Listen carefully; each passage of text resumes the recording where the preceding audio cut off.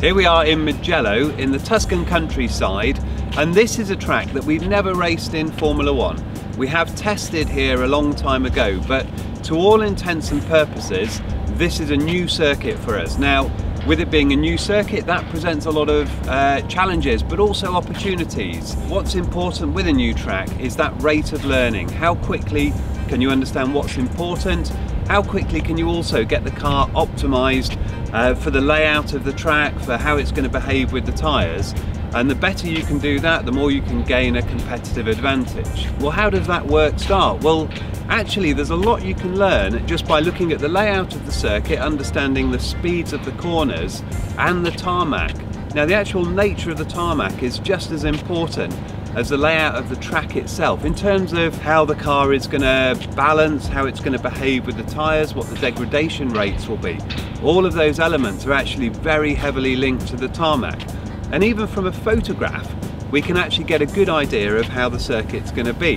That's the very early stages and we'll start looking at this work many, many months, even a year before we go to a new track. The next more detailed stage though is to actually generate a racing line file. Now, this is a file that we can plug into our simulator and it'll allow it to um, simulate the car going around here, work out all the corner speeds. Now this isn't using a race driver, this is just a computer program that maps out how fast the corners are and we can work out what sort of wing level. Now making that racing line file, you can actually do it just from Google Earth. You can take the overhead view and you can actually plot the trajectory around it and that's good enough to get a first look. But if you want to go to the other extreme, the ultra detailed approach, well there we need a LiDAR scan.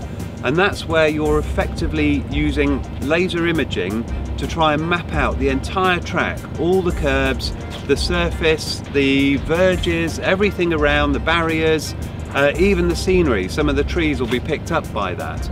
And that is a, is a very long and drawn out process, but that gives us a realistic virtual world that we can then let Lewis and we can let Valtteri drive in so they can actually experience what this track is going to be like. So that's the detailed part of it and we started that work about three months ago. Um, the circuits these days, they're actually, we're working with games companies to try and get the most uh, realistic view of the track because there are a lot of things around the driver more than just the sort of curbs and the circuit itself that they use as visual cues for where to brake, when to turn in. So getting a very realistic environment is one of the keys to that. So once we've got that map, we can then let the drivers drive the circuit. The, um, the way that the simulator will behave on the curbs is very much like the real car, so they can understand how much of that can you take. And with that, they can also just get used to the track. They know where to brake, where to turn in, which corners are flat, um, any little tricks there might be on driving line. Now the work that we, the engineers, are doing though, is actually a bit less exciting than that driving the simulator. What we're doing uh, on the engineering side is running hundreds of thousands of simulations, changing the setup, looking at the ride heights, the wing levels, all of those elements, how we might balance the car, and we can start to generate some um, plots that will show us broadly where the optimum setup is for this track. Now, Mugello is very unusual. It has literally no slow corners. The slowest corner here is turn one. It's about 135 kilometers an hour.